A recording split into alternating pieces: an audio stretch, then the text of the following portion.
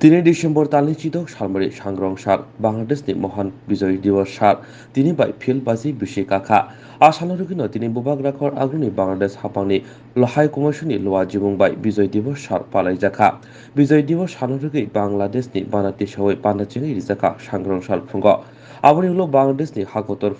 pha মন্ত্রী মন্ত্রী cock সামবক খানারি জাখা।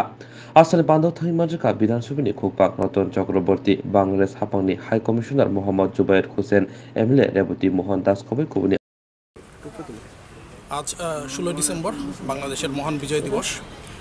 এটি বাঙালি জাতির সবচেয়ে অনন্য একটি দিন। এই দিনে উনিশশো একাত্তর সালে বাঙালি জাতি দীর্ঘ রক্তক্ষয়ী নয় মাসের যুদ্ধের পরে বাংলাদেশ স্বাধীন হয়।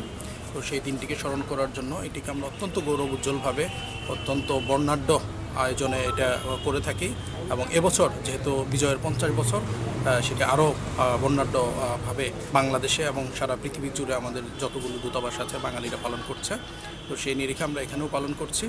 আমরা সকলে পতাকা উত্তোলন করেছি, বাংলাদেশের নেতৃত্ব কর্তৃক প্রদত্ত বাণী পাঠ করেছি। এখন আমরা আমাদের দ্বিতীয় পর্ব, যে মূল পর্ব, সেই মূল পর্ব খুব অল্প কিছুক্ষণের মধ্যে শুরু করতে যাচ্ছি। আমরা জাতির পিতার প্রতিকৃতিতে পুষ্পস্তবক অর্পণ করব। এক মিনিট শহীদদের স্মরণে এক মিনিট নিরবতা পালন করব। আমরা মহান মুক্তিযুদ্ধের তাৎপর্য নিয়ে আলোচনা করব।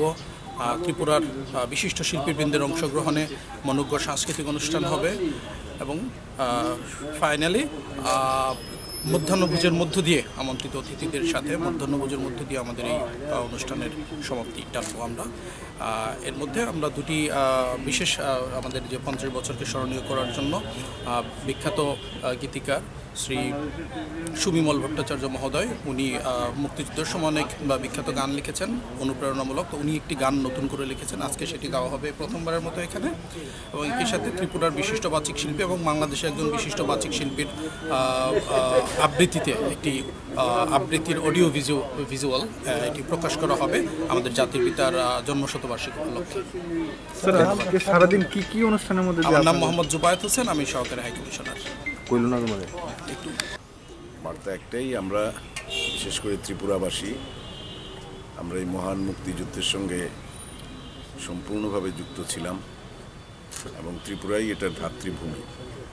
এখানেই প্রথম স্বাধীন বাংলাদেশের পতাকা উঠেছিল এবং সেদিন সৌভাগ্যবশত ভারতবর্ষে প্রথম ইয়াহিয়া খানের এই জঙ্গিশাহীর বিরুদ্ধে আমার নেতৃত্বে প্রায় এক কিলোমিটার লম্বা একটা যুবকদের নিয়ে রাত্রিবেলা মশাল মিছিল করে আমরা আখাউড়া সীমান্তে গিয়ে তার পশুপুত্তলিকা দাহ করেছি তার পরবর্তী সময় আপনারা জানেন যে ত্রিপুরা প্রায় তার সম পরিমাণ যারা শরণার্থী ছিলেন, তাদেরকে আশ্রয় দিয়েছে, খাদ্য দিয়েছে, চিকিৎসা করেছে, শুশ্রূষা করেছে। অসংখ্য মানুষ এর সঙ্গে যুক্ত ছিলেন এবং আমার প্রয়াত পিতাও প্রায় উনিশটি শরণার্থী ক্যাম্পের ইনচার্জ ছিলেন।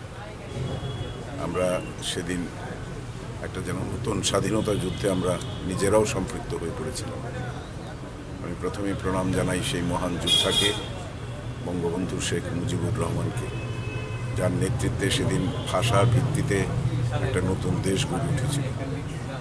তাদের সংখ্যাগরিষ্ঠ থাকার সত্ত্বেও পূর্ব পাকিস্তানের উপর জোর করে যে উর্দু ভাষা চাপিয়ে দেওয়া হয়েছিল, তার বিরুদ্ধে যে বাঙালি সত্তা, তার যে জাগরণ আমরা দেখেছি, সেই জাগরণের যে বিস্ফোরণ হয়েছিল এবং যার যা ছিল একটা সশস্ত্র বাহিনীর আধুনিক অস্ত্রে সজ্জিত একটা প্রায় লক্ষাধিক সেনাবাহিনীর বিরুদ্ধে যুদ্ধ করা, এটা একটা নতুন ইতিহাস গড়ে দিয়েছিল সেদিন। তার পরবর্তী সময় আপনারা জানেন যে এত ডিমোরালাইজড একটা ফোর্স যাকে বাধ্য হতে হয়েছিল সেদিন সারেন্ডার করার জন্য। জেনারেল মানিক নির্দেশে সেদিন আমাদের মেজর জেনারেল জেকবের নেতৃত্বে সেদিন যে রমনা ময়দানে যে সারেন্ডার ঘটনা ঘটেছিল, এটা পৃথিবীর ইতিহাসে একটা নতুন ঘটনা। একটাই কারণ সেটার যে তারা মরালি এত ডিগ্রেডেড হয়ে গিয়েছিল।